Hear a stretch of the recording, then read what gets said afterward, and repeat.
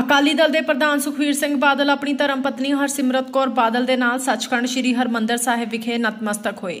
ਨਤਮਸਤਕ ਹੋਣ ਤੋਂ ਬਾਅਦ ਅਕਾਲੀ ਦਲ ਦੇ ਪ੍ਰਧਾਨ ਸੁਖਵੀਰ ਸਿੰਘ ਬਾਦਲ ਵੱਲੋਂ ਸਰਬੱਤ ਦੇ ਭਲੇ ਦੀ ਅਰਦਾਸ ਕੀਤੀ ਗਈ। ਇਸ ਮੌਕੇ ਮੀਡੀਆ ਨਾਲ ਗੱਲਬਾਤ ਕਰਦਿਆਂ ਕਿਹਾ ਕਿ ਪੰਜਾਬ ਦੇ ਲੋਕਾਂ ਨੇ ਬਦਲਾਵ ਦੇ ਨਾਮ ਤੇ ਆਪ ਪਾਰਟੀ ਨੂੰ 92 ਸੀਟਾਂ ਦਿੱਤੀਆਂ ਹਨ ਤੇ ਆਪ ਪਾਰਟੀ ਦੇ ਝੂਠੇ ਪ੍ਰਚਾਰ ਦੇਖ ਕੇ ਲੋਕਾਂ ਨੇ ਪਾਰਟੀ ਨੂੰ ਮੌਕਾ ਦਿੱਤਾ। ਪਰ 10 ਮਹੀਨੇ 'ਚ ਪੰਜਾਬ ਦੇ ਬਹੁਤ ਮਾੜੇ ਹਾਲਾਤ ਬਣ ਗਏ ਹਨ। ਸੁਖਵੀਰ ਬਾਦਲ ਨੇ ਕਿਹਾ, ਇੰਡਸਟਰੀ ਉਸ ਸੂਬੇ 'ਚ ਆਉਂਦੀ ਹੈ ਜਿੱਥੇ ਸ਼ਾਂਤੀ ਹੋਵੇ ਲਾ ਐਂਡ ਆਰਡਰ ਹੋਵੇ, ਪਰ ਪੰਜਾਬ ਵਿੱਚ ਲਾ ਐਂਡ ਆਰਡਰ ਨਾਂ ਦੀ ਕੋਈ ਚੀਜ਼ ਹੀ ਨਹੀਂ ਹੈ। ਉਹਨਾਂ ਕਿਹਾ, ਪੰਜਾਬ ਵਿੱਚ ਬਿਜਲੀ ਦੇ ਹਾਲਾਤ ਬਹੁਤ ਮੰਦੇ ਹਨ ਤੇ ਹੁਣ ਤੋਂ ਹੀ ਬਿਜਲੀ ਦੇ ਕੱਟ ਲੱਗਣੇ ਸ਼ੁਰੂ ਹੋ ਗਏ ਹਨ। ਉਹਨਾਂ ਕਿਹਾ ਇਹ ਲੋਕ ਥਰਮਲ ਪਲਾਂਟ ਬੰਦ ਕਰਨ ਦਾ ਦਾਅਵਾ ਕਰਦੇ ਸੀ ਤੇ ਹੁਣ ਕਿਉਂ ਨਹੀਂ ਕਰ ਰਹੇ? ਕਿਉਂ ਨਹੀਂ ਦੱਸਦੇ ਹਨ ਕਿ ਬਾਹਰੋਂ ਬਿਜਲੀ ਕਿਸ ਰੇਟ ਤੇ ਲੈ ਰਹੇ ਹਨ ਤੇ ਥਰਮਲ ਪਲਾਂਟ ਸਸਤੀ ਦੇ ਰਹੇ ਹਨ? ਪੰਜਾਬ ਵਿੱਚ ਜਿਹੜੀ ਨਵੀਂ ਬਦਲਾਅ ਦੀ ਸਰਕਾਰ ਆਈ, ਆਮ ਆਦਮੀ ਪਾਰਟੀ ਸਰਕਾਰ, ਤਕਰੀਬਨ 10 ਕੁ ਮਹੀਨੇ ਹੋ ਗਏ 10 ਮਹੀਨੇ ਪਹਿਲੇ ਬੜੇ ਚਾਅ ਨਾਲ ਪੰਜਾਬ ਦੇ ਲੋਕਾਂ ਨੇ ਐਜਾ ਇਤਿਹਾਸਿਕ ਵਰਡਿਕਟ ਦਿੱਤਾ, ਮੈਨੂੰ ਲੱਗਦਾ ਐਜਾ ਵਰਡਿਕਟ ਅੱਜ ਤੱਕ ਨਹੀਂ ਕਿਸੇ ਸਟੇਟ ਸੂਬੇ 'ਚ ਮਿਲਿਆ ਹੋਣਾ। 92 ਤੋਂ ਵੱਧ ਸੀਟਾਂ ਇੱਕੋ ਇੱਕ ਪਾਰਟੀ ਨੂੰ ਦਿੱਤੀਆਂ। ਬੜੀ ਉਹਨਾਂ ਦੀ ਉਮੀਦ ਸੀ ਕਿ ਇਹ ਨਵੀਂ ਸਰਕਾਰ ਆਊਗੀ, ਕਿਉਂਕਿ ਐਸ ਪਾਰਟੀ ਨੇ ਇੰਨੇ ਵਾਅਦੇ ਕੀਤੇ ਸੀ, ਲੋਕਾਂ ਦੇ ਮਨ 'ਚ ਐਜੀਆਂ ਗੱਲਾਂ ਪਾਈਆਂ ਸੀ ਕਿ ਜੇ ਸਾਨੂੰ ਤੁਸੀਂ ਸਰਕਾਰ ਬਣਾ ਦੋਗੇ, ਅਸੀਂ ਪੰਜਾਬ ਨੂੰ ਪਤਾ ਨਹੀਂ ਕਿੱਥੇ ਕਿੱਥੇ ਲੈ ਕੇ ਜਾਵਾਂਗੇ ਤੇ ਹਰ ਬੰਦੇ ਦੀ ਬਾਹ ਫੜਾਂਗੇ, ਹਰ ਗਰੀਬ ਦੀ। ਬਾਹ ਫੜਾਂਗੇ ਪੈਸੇ ਦੇਵਾਂਗੇ ਜਾਂ ਲਿਸਟ ਵੱਡੀ ਸੀ। ਉਹ ਸਾਰੀ ਲਿਸਟ ਦੇਖ ਕੇ, ਇਹਨਾਂ ਦੇ ਝੂਠਾ ਪ੍ਰਚਾਰ ਦੇਖ ਕੇ, ਪੰਜਾਬ ਦੀ ਜਨਤਾ ਨੇ, ਸਮੁੱਚੇ ਪੰਜਾਬ ਦੀ ਜਨਤਾ ਨੇ ਉਹਨਾਂ ਨੂੰ ਮੌਕਾ ਦਿੱਤਾ। ਪਰ ਬੜਾ ਦੁੱਖ ਨਾਲ ਕਹਿਣਾ ਪੈਂਦਾ ਹੈ ਕਿ ਪਿਛਲੇ 10 ਮਹੀਨੇ ਜੋ ਬਰਬਾਦੀ ਪੰਜਾਬ ਦੀ ਇਹ ਸਰਕਾਰ ਨੇ ਕੀਤੀ ਹੈ, ਜੋ ਹਾਲਾਤ ਪੰਜਾਬ ਦੇ ਇਹ ਸਰਕਾਰ ਨੇ ਬਣਾਤੇ ਹੈ ਮੈਨੂੰ ਤਾਂ ਡਰ ਹੈ ਜੇ ਇਸ ਤਰੀਕੇ ਨਾਲ ਆ 4 ਸਾਲ ਹੋਰ ਚੱਲੀ ਤੇ ਪੰਜਾਬ ਬਿਲਕੁਲ ਹੀ ਬਰਬਾਦ ਹੋ ਜਾਣਾ ਇਹਨਾਂ ਦੀ ਜਿਹੜੀ politics Aam Aadmi politics Aam Aadmi party ਦੀ ਜਿਹੜੀ ਸਿਆਸਤ ਹੈ, ਉਹ ਸਾਰਾ ਕੁਝ ਹੀ ਝੂਠ ਤੇ ਨਿਰਭਰ ਹੈ। ਉਹ ਝੂਠ ਬੋਲਦੇ ਆ ਇਸ ਤਰੀਕੇ ਨਾਲ ਬੋਲਦੇ ਆ ਕਿ ਲੋਕਾਂ ਦੇ ਮਨ 'ਚ ਜਚਾ ਦਿੰਦੇ ਆ ਕਿ ਇਹ ਸੱਚ ਹੈ। ਪਰ ਹੁਣ ਜਦੋਂ ਪ੍ਰੈਕਟੀਕਲ ਕਰਨ ਦਾ ਕੰਮ ਆ ਗਿਆ, ਹੁਣ ਝੂਠ ਤੇ ਸੱਚ ਸਾਹਮਣੇ ਚੀਜ਼ਾਂ ਆ ਗਈਆਂ। ਮੈਂ ਦੋ ਚਾਰ ਵੱਡੇ ਫੈਸਲੇ ਇਹਨਾਂ ਦੇ, ਮੈਂ ਉਹਨਾਂ ਦਾ ਜ਼ਿਕਰ ਕਰਨਾ ਚਾਹੂੰਗਾ। ਇੱਕ ਤਾਂ ਇਹਨਾਂ ਨੇ ਹੁਣੀ ਜਿਹੜੀ ਇੰਡਸਟਰੀਅਲ ਪਾਲਿਸੀ ਐਲਾਨੀ ਹੈ। ਤੁਸੀਂ ਆ ਇੰਡਸਟਰੀਅਲ ਪਾਲਿਸੀ ਦੇਖ ਲਓ ਤੇ ਸਾਡੀ ਟਾਈਮ ਦੀ ਇੰਡਸਟਰੀਅਲ ਪਾਲਿਸੀ ਦੇਖ ਲਓ। ਇੰਡਸਟਰੀਅਲ ਪਾਲਿਸੀ ਦਾ ਮਤਲਬ ਕੀ ਹੁੰਦਾ ਕਿ ਆਪਾਂ ਇੰਡਸਟਰੀ ਨੂੰ ਇਨਕਰੇਜ ਕਰੀਏ ਕਿ ਪੰਜਾਬ ਚ ਆ ਕੇ ਇਨਵੈਸਟ ਕਰੇ। ਇੰਡਸਟਰੀ ਕਿਉਂ ਪੰਜਾਬ ਕਿਸੇ ਸੂਬੇ ਜਾਂਦੀ ਹੈ? ਜੇ ਉਹ ਸੂਬੇ ਵਿੱਚ ਅਮਨ ਸ਼ਾਂਤੀ ਹੋਏ ਸੈਂਸ ਆਫ ਸਿਕਿਉਰਿਟੀ ਹੋਏ, ਉਹਨਾਂ ਨੂੰ ਰॉ ਮਟੀਰੀਅਲ ਬਿਜਲੀ ਪੂਰੀ ਮਿਲਦੀ ਹੋਏ, ਤੇ ਉਹਨਾਂ ਨੂੰ ਕੋਈ ਇਨਸੈਂਟਿਵ ਦਿੱਤਾ ਜਾਏ। ਪਰ ਜਿਹੜਾ ਅੱਜ ਹਾਲਾਤ ਹੈ, ਸਾਰੇ ਇੰਡਸਟਰੀਲਿਸਟ ਇੰਨੇ ਇਨਸਿਕਿਉਰ ਹੈ, ਡਰੇ ਬੈਠੇ ਹੈ। ਗੈਂਗਸਟਰਾਂ ਦੇ ਉਹਨਾਂ ਨੂੰ ਟੈਲੀਫੋਨ ਆਇਆ ਤੇ ਉਹ ਪੈਸਾ ਸਾਰਿਆਂ ਨੇ ਫਰੋਤੀਆਂ ਦਿੱਤੀਆਂ। ਜਿਹੜੇ ਅਫਸਰ ਉਹਨਾਂ ਨਾਲ ਧੱਕਾ ਕਰੀ ਜਾਂਦੇ ਹੈ ਉਹਨਾਂ ਦੀ ਕੋਈ ਮੁਸ਼ਕਲ ਹੈ, ਕਿਸੇ ਨੂੰ ਪਤਾ ਨਹੀਂ ਕਿਹਨੂੰ ਮਿਲਣਾ ਹੈ। ਦੂਜੀ ਗੱਲ ਜਿਹੜੀ ਬਿਜਲੀ ਦੀ ਹਾਲਤ ਹੈ, ਤੁਸੀਂ ਥੋੜੇ ਦਿਨ ਪਹਿਲੇ ਬਿਜਲੀ ਬੋਰਡ ਦੇ ਇੰਜੀਨੀਅਰ ਨੇ ਹੀ ਦੱਸਤਾ ਕਿ ਗਰਮੀਆਂ 'ਚ ਦੇਖੋ ਹੋਣਾ ਕੀ ਹੈ। ਪਿਛਲੇ 7 ਸਾਲ 'ਚ ਇੱਕ ਵੀ ਨਵਾਂ ਯੂਨਿਟ ਨਵਾਂ ਪੈਦਾ ਕਰਨ ਦਾ ਕੋਈ ਕਪੈਸਿਟੀ ਨਹੀਂ ਐਡ ਕੀਤੀ। ਮੈਂ ਭਗਵੰਤ ਮਾਨ ਜੀ ਨੂੰ ਮੈਂ ਸਵਾਲ ਪੁੱਛਣਾ ਚਾਹਣਾ ਹੈ। ਤੁਸੀਂ ਆਪਣੇ ਇਲੈਕਸ਼ਨ ਦੇ ਕੈਂਪੇਨ ਦੇ ਦੌਰਾਨ ਤੁਸੀਂ ਕਹਿੰਦੇ ਸੀ ਕਿ ਜੇ ਬਾਦਲ ਸਾਹਿਬ ਨੇ ਜਿਹੜੇ ਦੋ ਥਰਮਲ ਪਲਾਂਟ ਲਾਏ ਅਸੀਂ ਉਹਨਾਂ ਨੂੰ ਬੰਦ ਕਰਾਂਗੇ। ਹੁਣ ਕਿਉਂ ਨਹੀਂ ਕਰਦੇ? ਮੈਂ ਕਿਹਾ, ਭਗਵੰਤ ਮਾਨ ਜੀ, ਤੁਸੀਂ ਪੰਜਾਬ ਦੀ ਜਨਤਾ ਦੇ ਹੁਣ ਮੁੱਖ ਮੰਤਰੀ ਹੈ ਸਾਰਾ ਅਫਸਰ ਤੇ ਸਾਰਾ ਡੇਟਾ ਤੁਹਾਡੇ ਕੋਲੇ ਆ। ਕਿਉਂ ਨਹੀਂ ਦੱਸਦੇ ਪੰਜਾਬ ਦੇ ਲੋਕਾਂ ਨੂੰ ਕਿ ਜਿਹੜੀ ਉਹਨਾਂ ਥਰਮਲ ਪਲਾਂਟ ਤੋਂ ਬਿਜਲੀ ਆਉਂਦੀ ਹੈ ਕਿਸ ਰੇਟ ਤੇ ਆਉਂਦੀ ਹੈ ਤੇ ਜੇ ਬਾਹਰੋਂ ਬਿਜਲੀ ਖਰੀਦ ਰਹੇ ਹੋ, ਕਿਸ ਰੇਟ ਤੇ ਖਰੀਦ ਰਹੇ ਹੋ? ਜਿਹੜੇ ਤਲਵੰਡੀ ਸਾਬੋ ਤੇ ਰਾਜਪੁਰਾ ਥਰਮਲ ਪਲਾਂਟ ਆ, ਜਿਹੜੇ ਅਸੀਂ ਲਾਏ ਸੀ, ਤਕਰੀਬਨ 4000 ਮੈਗਾਵਾਟ। ਉਹ ਥਰਮਲ ਪਲਾਂਟ ਦੀ ਰੇਟ ਬਿਜਲੀ ਦਾ, ਬਿਜਲੀ ਬੋਰਡ ਨੂੰ 2 ਰੁਪਏ 80 ਰੁਪਏ 2 ਰੁਪਏ 80 ਪੈਸੇ ਪੈਂਦਾ ਹੈ। ਤੇ ਅੱਜ ਭਗਵੰਤ ਮਾਨ ਦੀ ਸਰਕਾਰ ਬਾਹਰੋਂ ਬਿਜਲੀ ਖਰੀਦ ਰਹੀ ਹੈ 8 ਰੁਪਏ 9 ਰੁਪਏ 10 ਰੁਪਏ। ਪਿਛਲੀ ਵਾਰ, ਪਿਛਲੀ ਗਰਮੀਆਂ 'ਚ 20 ਰੁਪਏ ਯੂਨਿਟ ਖਰੀਦੀ ਸੀ। ਫਿਰ ਕਿਉਂ ਝੂਠ ਬੋਲਿਆ? ਤੇ ਜਿਹੜੀ ਹਾਲਾਤ ਹੋਰ ਹੈ ਕਿ ਹੁਣ ਅਗਲੇ ਦਿਨਾਂ 'ਚ ਜਦੋਂ ਥਰਮਲ ਪਲਾਂਟਾਂ ਦੀ ਜਦੋਂ ਗਸ- ਗਰਮੀਆਂ ਆਉਣੀਆਂ ਹੈ, ਡਿਮਾਂਡ ਵੱਧ ਜਾਣੀ ਹੈ ਤੇ ਇਸ ਕਰਕੇ ਜਦੋਂ ਹੋਰ ਡਿਮਾਂਡ ਬਣ ਗਈ ਤਾਂ ਹੋਰ ਮਹਿੰਗੀ ਹੋ ਜਾਣੀ ਹੈ। ਮੈਨੂੰ ਤਾਂ ਲੱਗਦਾ ਹੈ ਕਿ ਜਿਸ ਤਰੀਕੇ ਨਾਲ ਚੱਲੇ ਹੈ ਕੋਈ ਇਹਨਾਂ ਨੇ ਯੂਨਿਟ ਕੀਤਾ ਨਹੀਂ ਉਹੀ ਕਾਲੇ ਦਿਨ ਜਦੋਂ ਰਾਤ ਨੂੰ ਬਿਜਲੀ ਨਹੀਂ ਆਉਂਦੇ ਸੀ ਉਹੀ ਹਾਲਾਤ ਬਣ ਜਾਣੇ ਹੈ ਜਿਹੜੇ 15-20 ਸਾਲ ਪਹਿਲੇ ਸੀ ਸਾਡੀ ਸਰਕਾਰ ਆਉਣ ਤੇ ਪਹਿਲੇ।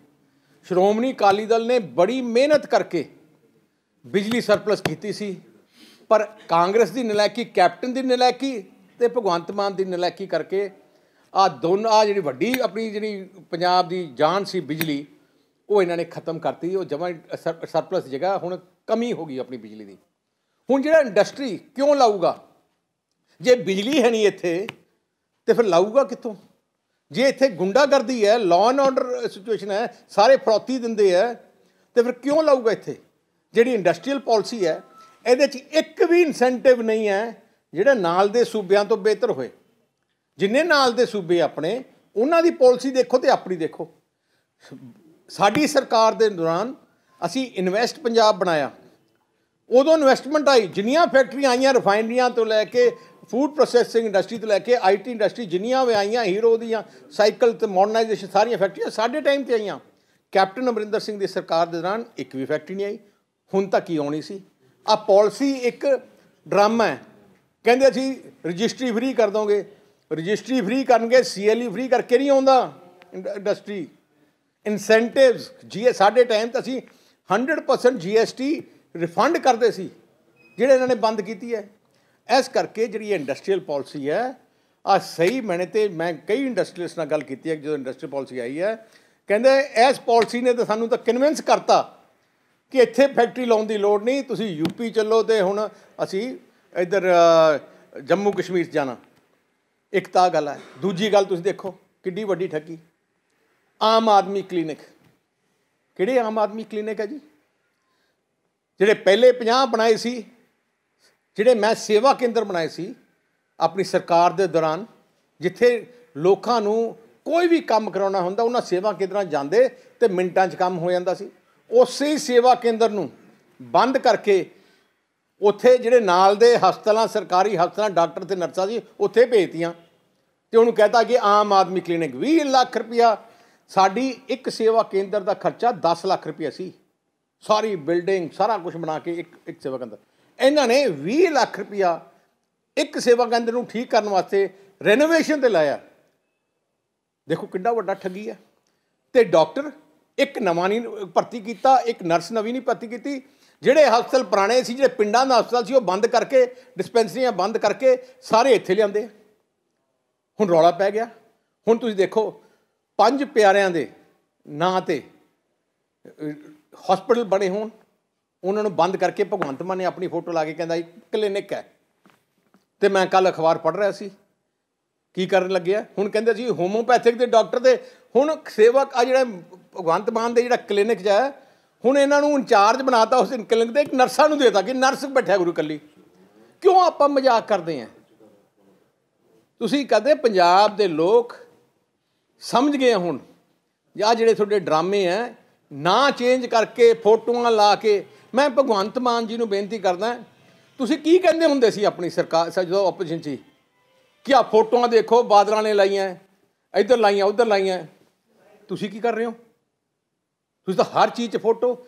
ਚਲੋ, ਅਸੀਂ ਤਾਂ ਜਿਹੜੀ ਚੀਜ਼ ਕੀਤੀ ਸੀ, ਜਿਹੜੀ ਪ੍ਰੈਕਟੀਕਲ ਨਵੀਂ ਚੀਜ਼ ਲਿਆਂਦੀ ਸੀ, ਨਵੀਂ ਪਾਲਿਸੀ ਉਹਦੇ ਸਾਡੀ ਐਡਵਰਟਾਈਜ਼ਮੈਂਟ ਸੀ। ਪਰ ਤੁਸੀਂ ਤੇ ਪੁਰਾਣੇ ਮਾਲ ਨੂੰ, ਤੁਸੀਂ ਪੁਰਾਣੀ ਗੱਡੀ ਨੂੰ ਰੰਗ ਪੇਂਟ ਕਰਕੇ ਤੇ ਤੁਸੀਂ ਉਹਦੇ 'ਚ ਸ਼ੋ- ਦਿਖਾਉਣਾ ਚਾਹੁੰਦੇ ਆ, ਕਿ ਵੇਚਣਾ ਚਾਹੁੰਦੇ ਆ, ਕਿ ਇਹ ਨਵੀਂ ਗੱਡੀ ਹੈ। ਇਹ ਤੋਂ ਮਾੜਾ ਹਾਲ ਕੀ ਹੋ ਸਕਦਾ? ਹੈ? ਤੇ ਹੁਣ ਜਿਹੜਾ ਤੁਸੀਂ ਦੇਖੋ ਜੋ ਹਾਲਾਤ ਫਾਈਨੈਂਸ਼ੀਅਲੀ ਜੋ ਹਾਲਾਤ ਸਟੇਟ ਦੀ ਹੈ, ਕੋਈ ਪਤਾ ਹੀ ਨਹੀਂ ਕੀ ਹੋ ਰਿਹਾ ਹੈ। ਅਗਲੇ ਸਾਲਾਂ ਦੇ ਅੰਦਰ ਰੈਵਨਿਊ ਗਰੋਥ ਮੈਂ ਪਤਾ ਕਰ ਰਿਹਾ ਸੀ। ਕੱਲ੍ਹ ਮੈਂ ਅਖਬਾਰਾਂ 'ਚ ਪੜਿਆ ਹੁਣੀ, ਇਹਨਾਂ ਦਾ ਟਾਰਗੇਟ ਸੀ 90000 ਕਰੋੜ, ਪਿਛਲਾ ਬਜਟ ਜੋ ਪੇਸ਼ ਕੀਤਾ ਸੀ, ਕਿ 90000 ਕਰੋੜ ਦੀ ਆਮਦਨ ਆਊਗੀ ਸਾਨੂੰ ਸਾਲ 'ਚ। ਸਾਰੀ ਸੈਂਟਰ ਤੋਂ ਲੈ ਕੇ ਮਿਲਾ ਕੇ। ਅੱਜ 3 ਮਹੀਨੇ ਰਹਿ ਗਏ 60000 ਕਰੋੜ ਵੀ ਨਹੀਂ ਪਹੁੰਚੀ। ਤੇ ਫਿਰ ਤੁਹਾਡਾ ਕੈਪੀਟਲ ਐਕਸਪੈਂਡੀਚਰ 1 ਰੁਪਿਆ ਨਹੀਂ ਕੀਤਾ ਇਹਨਾਂ ਨੇ ਇੱਕ ਸਾਲ 'ਚ। ਇੱਕ ਵੀ ਨਵੀਂ ਸੜਕ, ਕੋਈ ਨਵਾਂ ਸਕੂਲ। ਹੁਣ ਜਿਹੜੇ ਇਹਨਾਂ ਨੇ ਨਵਾਂ ਸਕੀਮ ਬਣਾ ਦੀ ਅਸੀਂ ਇੱਕ ਵਧੀਆ ਸਕੂਲ, ਪਤਾ ਨਾਂ ਕੀ ਦਿੱਤਾ ਸੀ ਉਹਨਾਂ ਨੇ? Eminence school. ਕੀ ਕੀਤਾ ਉਹਨਾਂ ਨੇ? ਜਿਹੜਾ ਬਾਦਲ ਸਾਹਿਬ ਨੇ, ਉਹ ਜਿਹੜੇ ਆਪਣੇ ਮੈਰਿਟੋਰੀਅਸ ਸਕੂਲ ਬਣਾਏ ਸੀ, ਉਹਨਾਂ ਦਾ ਨਾਂ ਫਿਰ ਤੋਂ ਚੇਂਜ ਕਰਤਾ। ਨਾ, ਇਹਨਾਂ ਦੀ ਪਾਲਿਸੀ ਹੈ ਕਿ ਨਾ ਚੇਂਜ ਕਰ ਕਰਕੇ ਆਪਣੀਆਂ ਫੋਟੋਆਂ ਲਾਈ ਜਾਓ। ਤੁਹਾਨੂੰ ਪੰਜਾਬ ਦੀ ਜਨਤਾ ਨੇ ਨਾ ਚੇਂਜ ਕਰਨ ਵਾਸਤੇ ਮੁੱਖ ਮੰਤਰੀ ਨਹੀਂ ਬਣਾਇਆ, ਉਹਨਾਂ ਦੀ ਜ਼ਿੰਦਗੀ ਚੇਂਜ ਕਰਨ ਵਾਸਤੇ ਇੰਪਰੂਵ ਕਰਨ ਵਾਸਤੇ ਮੁੱਖ ਮੰਤਰੀ ਬਣਾਇਆ। ਮੈਨੂੰ ਬੜਾ ਦੁੱਖ ਨਾਲ ਕਹਿਣਾ ਪੈਂਦਾ ਕਿ ਜਿਸ ਉਮੀਦ ਨਾਲ ਲੋਕਾਂ ਨੇ ਬਣਾਇਆ, ਤੁਸੀਂ ਸਾਰਿਆਂ ਦੀ ਉਮੀਦਾਂ ਤੋੜ ਦਿੱਤੀਆਂ। ਮੈਨੂੰ ਬੜਾ ਦੁੱਖ ਹੈ, ਦਿਲੋਂ ਦੁੱਖ ਹੈ ਕਿ ਬੜਾ ਤਿਨਕਾ ਤਿਨਕਾ ਇਕੱਠਾ ਕਰਕੇ ਅਸੀਂ ਪਿਛਲੇ 10 ਸਾਲ ਆਪਣੀ ਸਰਕਾਰ 'ਚ ਪੰਜਾਬ ਦੇ ਵਿੱਚ ਤਰੱਕੀ ਲਿਆਂਦੀ, ਪੰਜਾਬ ਦੇ ਹਰ ਵਰਗ ਨੂੰ ਉੱਚੇ ਚੱਕਣ ਦੀ ਕੋਸ਼ਿਸ਼ ਕੀਤੀ ਉਸ ਸਮੇਂ ਤੁਸੀਂ ਦੇਖਿਆ ਹਰ ਰੋਜ਼ ਨਵੀਂ ਚੀਜ਼ ਬਣਦੀ ਸੀ। ਯਾਦ ਕਰੋ, ਪਹਿਲੇ ਕਿੰਨੇ ਰੇਲਵੇ ਫਾਟਕ ਹੁੰਦੇ ਸੀ ਪੰਜਾਬ 'ਚ। ਜਿਹੜੇ ਪਿੰਡ 'ਚੋਂ ਟੱਪਦੇ ਰੇਲਵੇ ਹੁੰਦਾ ਸੀ, ਜਾਂ ਦੇ ਉੱਤੇ ਫਾਟਕਾਂ ਦੇ ਉੱਤੇ ਬੁੱਲ ਬਣਾਇਆ, ਸਾਰੀ ਸ਼੍ਰੋਮਣੀ ਅਕਾਲੀ ਦਲ ਨੇ ਅੱਜ ਤੁਸੀਂ ਅੰਮ੍ਰਿਤਸਰ ਤੋਂ ਪੰਜਾਬ ਦੇ ਕਿਸੇ ਕੋਨੇ ਚਲੇ ਜਾਓ, ਸੜਕਾਂ 4 ਲੇਨ 6 ਲੇਨ ਸਾਰੀਆਂ ਹੀ ਅਕਾਲੀ ਦਲ ਦੀਆਂ। Power surplus Akali Dal airport Akali Dal. ਗੁਰੂ ਦੀ ਨਗਰੀ ਦੀ ਮੈਂ ਗੱਲ ਕਰ ਰਿਹਾ, ਮੈਂ ਹਰ ਵਾਰ ਇੱਥੇ ਆ ਕੇ ਜ਼ਿਕਰ ਕਰਦਾ ਜੋ ਬੁਰਾ ਹਾਲ ਹੋ ਗਿਆ ਕੱਲ ਮੈਂ ਉਹ ਜਿਹੜੀ ਖਾਲਸਾ ਕਾਲਜ ਦੇ ਸਾਹਮਣੇ ਸੜਕ ਹੈ, ਮੈਂ ਉੱਥੇ ਜਾ ਰਿਹਾ ਸੀ। ਬੜੀ ਖੂਬਸੂਰਤ ਬਣਾਈ ਸੀ। ਬੜਾ ਉੱਥੇ ਗੰਦ ਹੁੰਦਾ ਸੀ। ਅਸੀਂ ਚੌੜੀ ਕਰਕੇ ਬਹੁਤ ਵਧੀਆ ਉੱਥੇ ਸਿਸਟਮ ਬਣਾਇਆ ਸੀ। ਮੈਨੂੰ ਬੜਾ ਦੁੱਖ ਹੈ, ਸਾਰਾ ਕੁਝ ਟੁੱਟਿਆ ਪਿਆ ਹੈ। ਆ ਵਿਰਾਸਤੇ ਮਾਗ ਦਰਬਾਰ ਸਾਹਿਬ ਦੇ ਬਾਅਦ। ਕਿੰਨਾ ਖੂਬਸੂਰਤ ਬਣਾਇਆ ਸੀ। ਅੱਜ ਹਾਲਾਤ ਦੇਖੋ ਉੱਥੇ ਕੀ ਹੈ। ਇਹਨਾਂ ਦੇ ਮਨ 'ਚ ਕੋਈ ਚਾਹ ਹੀ ਨਹੀਂ, ਇਹਨਾਂ ਮਨ 'ਚ ਕੋਈ ਜਜ਼ਬਾ ਹੀ ਨਹੀਂ ਕੰਮ ਕਰਨ ਦਾ। ਇਸ ਕਰਕੇ ਮੈਂ ਪੰਜਾਬੀਆਂ ਨੂੰ ਆਈ ਬੇਨਤੀ ਕਰਨਾ ਚਾਹੁੰਦਾ ਆਪਾਂ ਪਛਾਣੀਏ, ਆਪਣੇ ਕਿਹੜੇ ਹੈ? ਆ ਜਿੰਨੀਆਂ ਪਾਰਟੀਆਂ, ਮੈਂ ਸਾਰਿਆਂ ਨੂੰ ਪੰਜਾਬੀਆਂ ਨੂੰ ਆਈ ਬੇਨਤੀ ਕਰਨਾ ਚਾਹੁੰਦਾ ਆ ਚਾਰ ਪਾਰਟੀਆਂ ਅੱਜ ਮੈਦਾਨ 'ਚ। ਆਮ ਆਦਮੀ ਪਾਰਟੀ, ਕਾਂਗਰਸ, ਬੀਜੇਪੀ ਤੇ ਸ਼੍ਰੋਮਣੀ ਅਕਾਲੀ ਦਲ। ਆ ਚਾਰਾਂ 'ਚ ਕੱਲੀ ਇੱਕ ਪੰਜਾਬੀਆਂ ਦੀ ਹੈ, ਸ਼੍ਰੋਮਣੀ ਅਕਾਲੀ ਦਲ। ਤੁਹਾਡੀ ਆਪਣੀ ਕੌਮ ਦੀ, ਪੰਥ ਦੀ ਪਾਰਟੀ ਹੈ। ਬਾਕੀ ਸਾਰੀਆਂ ਬਾਹਰ ਦੀਆਂ, ਕਿਸੇ ਦਾ ਕੋਈ ਲਗਾਅ ਪੰਜਾਬ ਨਾਲ ਨਹੀਂ। ਕੋਈ ਫਿਕਰ ਨਹੀਂ, ਕੋਈ ਪਰਵਾਹ ਨਹੀਂ। ਕੇਜਰੀਵਾਲ ਨੂੰ ਕੀ ਫਿਕਰ ਹੈ ਪੰਜਾਬ ਦਾ? ਅੱਜ ਰਾਘਵ ਚੱਡਾ ਚੀਫ ਮਿਨਿਸਟਰ ਬਣਾਇਆ ਫਿਰਦਾ, ਉਹਨੂੰ ਕੀ ਫਿਕਰ ਹੈ? ਇੱਥੇ ਜਿਉਂਦੇ ਮਰਦੇ ਹੈ, ਜੇ ਫਿਕਰ ਹੈ, ਜੇ ਚਿੰਤਾ ਹੈ, ਤੇ ਕਾਲੀ ਦਲ ਨੂੰ ਚਿੰਤਾ ਹੈ। ਤੁਹਾਡੀ ਪਾਰਟੀ ਹੈ, ਤੁਹਾਡੀ ਆਪਣੀ ਖੂਨ ਪਸੀਨੇ ਨਾਲ ਸਿੱਚੀ ਹੋਈ ਪਾਰਟੀ ਹੈ, ਇਸ ਪਾਰਟੀ ਨੂੰ ਤਕੜਾ ਰੱਖੋ, ਜੇ ਪੰਜਾਬ ਨੂੰ ਬਚਾਉਣਾ ਹੈ, ਜੇ ਆਪਾਂ ਦੂਜੀਆਂ ਪਾਰਟੀਆਂ ਦੇ ਮਗਰ ਲੱਗੇ ਰਹੇ ਆ 7 ਸਾਲ ਦੇਖ ਲੈ ਕਿੰਨੀ ਵੱਡੀ ਬਰਬਾਦੀ ਹੋਈ ਹੈ, ਪੰਜਾਬ ਬਹੁਤ ਪਿੱਛੇ ਚਲੇ ਜਾਣਾ ਹੈ, ਐਜਾ ਸੂਬਾ ਬਣ ਜਾਣਾ ਹੈ। ਕਿ ਤੁਸੀਂ ਆਪ ਇੱਥੇ ਰ- ਕਹੋਗੇ ਕਿ ਇੱਥੇ ਕਿਵੇਂ ਰਵਾਂਗੇ? ਮੈਂ ਥੋੜੇ ਦਿਨ ਪਹਿਲੇ ਯੂਪੀ ਗਿਆ ਮੈਂ ਜਾ ਕੇ ਆਇਆ ਸੀ ਲਖਨਊ, ਮੈਂ ਵਾਰਾਣਸੀ ਜਾ ਕਿੰਨੀ ਤਰੱਕੀ ਹੋ ਗਈ ਉੱਥੇ? ਕਿਉਂ? ਕਿਉਂਕਿ ਉਹਨਾਂ ਸਰਕਾਰਾਂ ਨੇ ਮਿਹਨਤ ਕੀਤੀ। ਪਰ ਆਪਣੇ 7 ਸਾਲਾਂ 'ਚ, ਜਿਵੇਂ ਆਪਣੇ 10 ਸਾਲਾਂ 'ਚ ਤਰੱਕੀ ਸ਼ੁਰੂ ਸੀ, ਜਾਂ 7 ਸਾਲ ਨਾ ਖਰਾਬ ਹੁੰਦੇ, ਅੱਜ ਆਪਾਂ ਬਹੁਤ ਅੱਗੇ ਪਹੁੰਚਣਾ ਸੀ। ਪਰ ਫੈਸਲੇ ਜਨਤਾ ਦੇ ਹੈ। ਪਰ ਆਪਾਂ ਗਲਤ ਫੈਸਲਾ ਲੈ ਕੇ ਆਪਾਂ ਪੰਜਾਬ ਨੂੰ ਪਿੱਛੇ ਚੱਲ ਦਿੱਤਾ ਪਰ ਕਿਵੇਂ ਨਾ ਕਿਵੇਂ ਆਪਾਂ ਫਿਰ ਵੀ ਇਕੱਠੇ ਹੋ ਕੇ ਆਪਣੀ ਕੌਮ ਦੀ ਪੰਜਾਬੀਆਂ ਦੀ ਆਵਾਜ਼ ਇੱਕੋ ਇੱਕ ਹੈ ਅਕਾਲੀ ਦਲ ਸ਼੍ਰੋਮਣੀ ਅਕਾਲੀ ਦਲ ਨੂੰ ਤਗੜਾ ਕਰੋ। ਬਾਦ ਸਾਹਿਬ ਲਾਂਡ ਆਰਡਰ ਬਾਰੇ ਕੀ ਕਹੋਗੇ? ਸਿੱਕਮ ਤੋਂ ਆਈ ਇੱਕ ਟੂਰਿਸਟ ਲੜਕੀ ਦੀ ਪਰਸੋਂ ਡੈਥ ਹੋਈ ਹੈ ਸਨੈਚਿੰਗ ਦੌਰਾਨ। ਤੁਸੀਂ ਹਰ ਰੋਜ਼ ਤੁਸੀਂ ਅਖਬਾਰਾਂ 'ਚ ਪੜ੍ਹ ਲਓ ਟੀਵੀ 'ਤੇ ਦੇਖ ਲਓ ਕਿਤੇ ਨਾ ਕਿਤੇ ਕੋਈ ਨਾ ਕੋਈ ਕਿਡਨੈਪਿੰਗ ਹੋ ਰਹੀ ਹੈ ਕੋਈ ਰੇਪ ਹੋ ਰਿਹਾ ਕੋਈ ਧੱਕਾ ਹੋ ਰਿਹਾ। ਇੱਥੇ ਅੰਮ੍ਰਿਤਸਰ ਗੁਰੂ ਦੀ ਨਗਰੀ ਟੂਰਿਸਟ ਸੈਂਟਰ ਹੈ। ਜੇ ਟੂਰਿਸਟ ਸੈਂਟਰ ਵਿੱਚ ਜਿਹੜਾ ਕੋਈ ਸਿੱਕਿਮ ਤੋਂ ਲੜਕੀ ਆਈ ਹੈ, ਜੇ ਉਹਦੇ ਨਾਲ ਹਾਦਸਾ ਹੋਇਆ, ਜਿਹਦੀ ਉਹਦੀ ਮੌਤ ਹੋਈ ਹੈ, ਉਹਦੀ ਸਨੈਚ ਉਹਦੇ ਮੋਟਰ ਆਪਣੇ 3 ਵੀਲਰ ਤੋਂ ਕੱਢਿਆ, ਉਹਨੂੰ ਸਨੈਚ ਕਰਨ ਦੀ ਕੋਸ਼ਿਸ਼ ਕੀਤੀ ਹੈ। ਜੇ ਐਜ ਏ ਐਗਜ਼ਾਮਪਲ ਪਬਲਿਕ ਦੁਨੀਆ ਜਾਣਗੇ, ਕੌਣ ਆਊਗਾ ਅੰਮ੍ਰਿਤਸਰ? ਆ ਸਾਰੀ ਮੈਂ ਕਹਿੰਦਾ ਜ਼ਿੰਮੇਵਾਰੀ ਸ- ਪੰਜਾਬ ਦੀ ਸਰਕਾਰ ਦੀ ਹੈ। ਇੰਨਾ ਨਲਾਇਕ ਮੁੱਖ ਮੰਤਰੀ ਨਖਿੱਧ ਮੁੱਖ ਮੰਤਰੀ ਆਪਾਂ ਨੂੰ ਮਿਲਿਆ, ਜਿਹਨੂੰ ਕੋਈ ਪ੍ਰਵਾਹ ਤੇ ਫਿਕਰ ਨਹੀਂ। ਡੇਰਾ ਸਰਸਾ ਮੁਖੀ ਨੂੰ ਬਿਆਰ-ਬਾਰ ਪੈਰੋਲ ਦਿੱਤੀ ਜਾਂਦੀ ਹੈ ਔਰ ਭਗਵੰਤ ਮਾਨ ਜੀ ਉਹਨੂੰ ਪੰਜਾਬ ਚ ਇਨਵਾਈਟ ਕਰ ਰਹੇ ਨੇ ਵੀ ਇੱਥੇ ਆ ਕੇ ਦੇਖੋ ਪੰਜਾਬ ਦੀ ਜੋ ਹਾਲਾਤ ਹੈ ਸੈਂਸਿਟਿਵ ਨੂੰ ਦੇਖਣ ਚਾਹੀਦਾ ਹੈ। ਇੱਕ ਕਾਨੂੰਨ ਹੈ ਦੇਸ਼ ਦਾ। ਪਰੋਲ ਇੱਕ ਐਜੀ ਚੀਜ਼ ਹੁੰਦੀ ਹੈ ਇੱਕ ਸਪੈਸਿਫਿਕ ਰੀਜ਼ਨ ਵਾਸਤੇ ਕਿਤੇ ਕਿਤੇ ਬੜੀ ਲਿਮਟਿਡ ਟਾਈਮ ਤੇ ਕਿਸੇ ਦਾ ਕੋਈ ਪਰਿਵਾਰ 'ਚ ਕੋਈ ਬਹੁਤ ਇੰਪੋਰਟੈਂਟ ਚੀਜ਼ ਹੋ ਜੇ। ਐ ਨਹੀਂ ਹੈ ਕਿ ਆਪਾਂ ਆਪਣੇ ਪੋਲੀਟੀਕਲ ਏਜੰਡਾ ਪੂਰਾ ਕਰਨਾ ਹੈ। ਇੱਕ ਇਨਸਾਨ ਇੱਕ ਬੰਦੇ ਨੂੰ ਯੂਜ਼ ਕਰਨਾ ਹੈ। ਕੀ ਬੰਦੀ ਸਿੱਖਾਂ ਨੂੰ ਇੱਕ ਦਿਨ ਇੱਕ ਘੰਟਾ ਵੀ ਪਰੋਲ ਦਿੱਤੀ ਹੈ? ਆ ਦੋੜੀ ਨਿੱਜੀ ਨੀਤੀ ਦੇਸ਼ 'ਚ ਨਹੀਂ ਹੋਣੀ ਚਾਹੀਦੀ। ਹਾਈ ਕੋਰਟ ਨੇ ਨਸ਼ਿਆਂ ਤੇ ਲੈ ਕੇ ਪੰਜਾਬ ਸਰਕਾਰ ਨੂੰ ਝਾੜ ਪਾਈ ਹੈ ਕਿ ਇਹ- ਇਹਦਾ ਕੋਈ ਹੱਲ ਕਰੋ ਜਾਂ ਵੱਧ ਤੋਂ ਵੱਧ ਹੱਲ ਹੋ ਨਹੀਂ ਸਕਦਾ ਕਿਉਂਕਿ ਜੈ ਜੀ ਸਰਕਾਰ ਬੈਠੀ ਹੈ। ਆ ਸਰਕਾਰ ਹੀ ਜਿਨੇ ਇਹਨਾਂ ਦੇ ਐਮਐਲਏ ਹੈ। ਮੈਂ ਤੁਸੀਂ ਉਹਨਾਂ ਦਾ ਬੈਕਗ੍ਰਾਉਂਡ ਚੈੱਕ ਕਰੋ ਐਮਐਲਏ ਦਾ। ਇਹਨਾਂ ਦਾ ਜਿਹੜਾ ਬੈਕਗ੍ਰਾਉਂਡ ਹੈ ਕਈ ਪੁਰਾਣੇ ਨਸ਼ੇ ਵੇਚਣ ਵਾਲੇ ਹੈ ਹੁਣ ਇਹਨਾਂ ਨੇ ਐਮਐਲਏ ਨੇ ਸੋਚ ਲਿਆ ਕਿ ਅਗਲੀ ਵਾਰ ਤਾਂ ਅਸੀਂ ਆਉਣਾ ਨਹੀਂ ਹੁਣ ਪੈਸੇ ਇਕੱਠੇ ਕਰੀਏ। ਤੇ ਉਹ ਜਿਹਨੇ ਨਸ਼ੇ ਵੇਚਣ ਵਾਲੇ ਆ, ਉਹਨਾਂ ਦਾ ਮਹੀਨਾ ਬੰਨ ਲਿਆ ਇਹਨਾਂ ਨੇ। ਐਸਐਸਪੀ ਨਾਲ ਮੈਂ ਗੱਲ ਕੀਤੀ। ਉਹ ਕਹਿੰਦਾ ਜੀ ਅਸੀਂ ਕੀ ਕਰੀਏ? ਸਾਨੂੰ ਉੱਤੋਂ ਸੀਐਮ ਹਾਊਸ ਤੋਂ ਫੋਨ ਆ ਜਾਂਦਾ ਸਾਨੂੰ ਆ ਆਂਦਾ ਮੈਂ ਐਕਸ਼ਨ ਨਹੀਂ ਲੈ ਸਕਦਾ। ਜੀ ਇਹ ਜੀ ਹਾਲਾਤ ਹੋਊਗੀ ਤੇ ਫਿਰ ਹੋਊਗਾ ਕੀ? ਥੈਂਕ ਯੂ ਸਾਡੇ 500 ਰੁਪਏ ਸੈਕੜਾ ਰੇਤ ਕਰਨ ਦਾ ਲਾਲ ਕੀਤਾ ਸੀ। ਸਾਡੇ 5 ਰੁਪਏ ਰੇਤ। ਜਿਹੜਾ ਰੇਤ ਕਰਨ ਦਾ ਲਾਲ ਕੀਤਾ ਪਰ ਜ਼ਮੀਨੀ ਹਕੀਕਤ ਕੁਝ ਲੱਗ ਮੈਂ ਜਿਵੇਂ ਮੈਂ ਪਹਿਲੇ ਤਿੰਨ ਗੱਲਾਂ ਕੀਤੀਆਂ ਮੈਂ ਰੇਤੇ ਬਾਰੇ ਵੀ ਆ ਗੱਲ ਕਰਨਾ ਚਾਹਣਾ ਬਾਰ-ਬਾਰ ਕਹਿੰਦੇ ਸੀ ਮੈਂ ਪੰਜਾਬ ਦੀ ਜਨਤਾ ਨੂੰ ਤੁਹਾਡੇ ਰਾਹੀਂ ਮੈਂ ਇੱਕ ਸਵਾਲ ਪੁੱਛਣਾ ਚਾਹਣਾ ਜਦੋਂ ਸ਼੍ਰੋਮਣੀ ਅਕਾਲੀ ਦਲ ਦੀ ਸਰਕਾਰ ਸੀ ਉਦੋਂ ਰੇਤੇ ਦਾ ਕੀ ਰੇਟ ਸੀ? ਜਦੋਂ ਕਾਂਗਰਸ ਦਾ ਰਾਜ ਸੀ ਉਦੋਂ ਰੇਤੇ ਦਾ ਕੀ ਰੇਟ ਸੀ? ਤੇ ਅੱਜ ਕੀ ਰੇਟ ਹੈ? ਸਭ ਤੋਂ ਸਸਤਾ ਰੇਤਾ ਪੰਜਾਬ 'ਚ ਸ਼੍ਰੋਮਣੀ ਅਕਾਲੀ ਦਲ ਦੀ ਸਰਕਾਰ ਦੇ ਦੌਰਾਨ ਸੀ। ਕਿਸੇ ਨੇ ਉਹਦੇ ਬਾਅਦ ਦੁਗਣਾ ਤਿਗਣਾ ਕੈਪਟਨ ਨੇ ਕਰਤਾ ਤੇ ਅੱਜ ਤਾਂ ਜਮਾ ਹੀ ਲੁੱਟ ਮਚਾਤੀ। ਤੇ ਫਿਰ ਰੇਤ ਮਾਫੀਆ ਕੌਣ ਹੈ? ਬਦਨਾਮ ਅਕਾਲੀ ਦਲ ਨੂੰ। ਕਿਉਂਕਿ ਆ ਜਿਹੜੀਆਂ ਨੈਸ਼ਨਲ ਪਾਰਟੀਆਂ, ਏਜੰਡਾ ਸੀ ਕਿ ਰੀਜਨਲ ਪਾਰਟੀਆਂ, ਖੇਤਰੀ ਪਾਰਟੀਆਂ ਨੂੰ ਖਤਮ ਕਰਨਾ ਹੈ। ਆ ਏਜੰਡਾ ਆ ਨੈਸ਼ਨਲ ਪਾਰਟੀਆਂ ਦਾ ਹੈ। ਉਹਨਾਂ ਦਾ ਟਾਰਗੇਟ ਸੀ ਕਿ ਆ ਖੇਤਰੀ ਪਾਰਟੀ ਹੈ, ਕੌਮ ਦੀ ਪਾਰਟੀ ਹੈ, ਇਹਨੂੰ ਖਤਮ ਕਰ ਦਿਓ, ਝੂਠੇ ਪ੍ਰਚਾਰ, ਝੂਠੇ ਪ੍ਰਨਾ ਬੇਅਦਬੀ ਦਾ ਇਹਨਾਂ ਨੇ ਝੂਠਾ ਇਲਜ਼ਾਮ ਲਾਇਆ। ਜਿਨ੍ਹਾਂ ਨੇ ਬੇਅਦਬੀ ਦਾ ਇਲਾ- ਇਲਜ਼ਾਮ ਲਾਇਆ, ਮੈਂ ਉਹਨਾਂ ਨੂੰ ਪੁੱਛਣਾ ਚਾਹਣਾ ਹੈ, ਅੱਜ ਬੈਠੇ ਕਿੱਥੇ ਹੈ? ਦਾਦੂਵਾਲ ਕਿੱਥੇ ਬੈਠਾ ਬੀਜੇਪੀ ਨਾਲ? ਮੰਡ ਸਾਹਿਬ ਕਿੱਥੇ ਹੈ? ਜਦੋਂ ਬੇਅਦਬੀਆਂ ਅੱਜ ਕੱਲ ਹੋਈਆਂ, ਕਿਤੇ ਉਹ ਧਰਨਾ ਦਿੱਤਾ ਉਹਨਾਂ ਨੇ? ਮਤਲਬ ਕੀ ਸੀ? ਇੱਕ ਏਜੰਡਾ ਸੀ ਸਾਰਿਆਂ ਦਾ।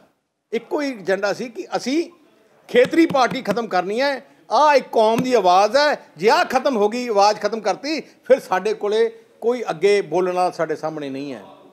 ਤੇ ਉਹ ਆਪਣੇ ਆਪਣੇ ਜਿਹੜੇ ਏਜੰਡੇ 'ਚ ਕਾਮਯਾਬ ਹੋਏ। ਤੇ ਅੱਜ ਦੇਖੋ ਕਿ ਕਾਮਯਾਬ ਹੋਣ ਦੇ ਬਾਅਦ ਕੀ ਹੋਇਆ? ਫਿਰ ਉਹਨਾਂ ਨੇ ਨੈਸ਼ਨਲ ਪਾਰਟੀ ਪਾਰਟੀਆਂ ਬੀਜੇਪੀ ਨੇ ਦਿੱਲੀ, ਗੁਰਦੁਆਰਾ ਪ੍ਰਬੰਧਕ ਕਮੇਟੀ 'ਚ ਕਬਜ਼ਾ ਕਰ ਲਿਆ।